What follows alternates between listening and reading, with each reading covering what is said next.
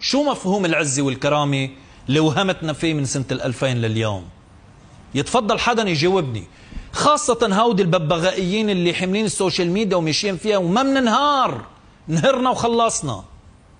شو يعني العزة والكرامة يا أستاذ طاهر وأنت عم تطلع بابنك عم يتطلع بالناس مش قادر منقوشة زعتر ياكلها مش قادر مرتك تغطيها بحرام. مش قادر بنتك تحط لها فريش تتنام. شو بقي من العزة والكرامة؟ ولا شيء. صفر. بعتونا أوهام حتى سقط هذا الوطن. بعتونا أوهام حتى تدمرت كل المعنويات عنا. بعتونا أوهام حتى ما عدنا لقينا حالنا إلا بالشوارع. ما حدا قادر يساعد حدا بظل هذا التدهور الاقتصادي في البلد. أنتوا شو أعطيتونا غير هذا الوهم؟ أنتوا لازم تتحاكموا هؤلاء الذين روجوا لهذه الأوهام. لازم تتحاكموا. ولازم تتحاسبوا.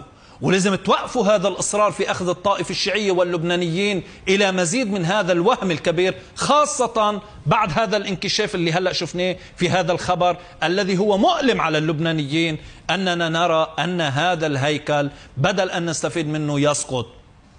يا أستاذ طاهر أنا بقدر تماما. مثل ما دموعك هي دموع كل اللبنانيين اليوم. ومثل هذا القهر موجود بقلوبنا كلنا.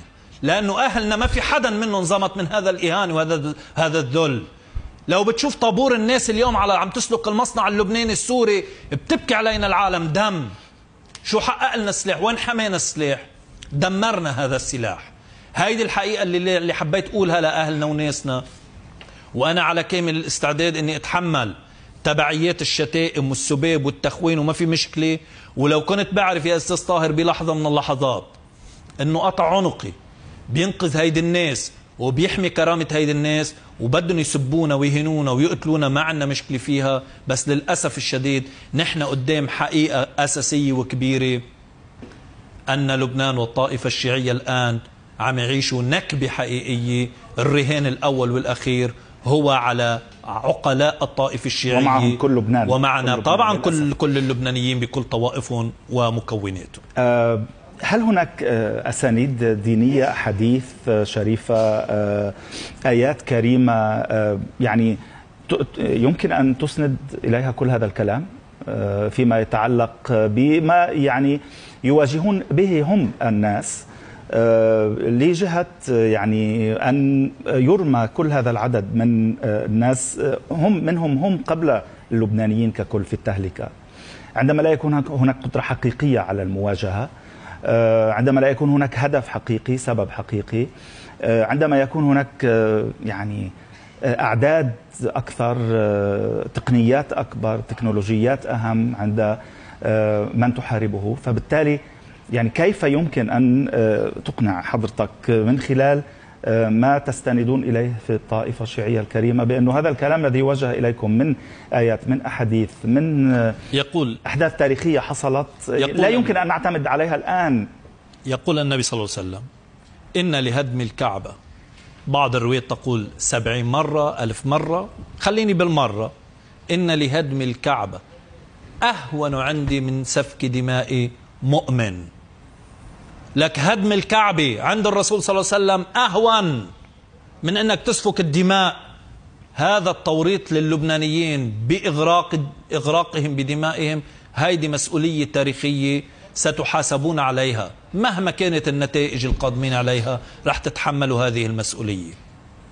الإمام الحسن عليه السلام بما أن الشيعة وفكرة الشيعة قائمة على تاريخ الآئمة وانتمائهم لهذا لهؤلاء الآئمة الإمام الحسن عقد الصلح وبايع لماذا؟ لأنه حقنا لدماء المسلمين. لأنه لا يريد, لا يريد للمسلمين أن يغرقوا في الدماء. الإمام علي عليه السلام عندما قيل له لقد تقمسها فلان وفلان. في إشارة طبعا قومه في إشارة إلى أن الخلافة أخذت بالشورى منك. ماذا قال الإمام علي؟ لأسلمن ما سلمت أمور المسلمين. نحن مش أفضل تفكيرا من الأئمة إذا بدي قيس من الناحية الدينية. لماذا لم نتخذ هذا القرار اليوم؟ أنا ما عم بحكي هون بالاستسلام لإسرائيل. أنا عم بحكي لماذا لم نلتزم بما يحمي لبنان واللبنانيين؟ ما التزمنا. بس جينا هلأ مؤخرا نتباكى أنه نحن مستعدين لتطبيق القرارات الدولية ومستعدين لوقف إطلاق النار. بس كان فاتنا القطار يا أستاذ طاهر. فاتنا القطار بكل معاييره. نحن الآن أمام كارثة حقيقية. أنا بتمنى وبسأل الله سبحانه وتعالى أن يزيدنا قوة في لبنان بس الشعارات ما بقى تحصل نتائج اليوم. ما بقى فينا نعيش ناسنا بس بالشعارات. ما بقى فينا نعمل تحليلات ونوهم الناس أنه نحن على أبواب النصر الكبير. ضرب لبنان ضرب بكل مؤسساته ضرب بناسه ضرب بأهله.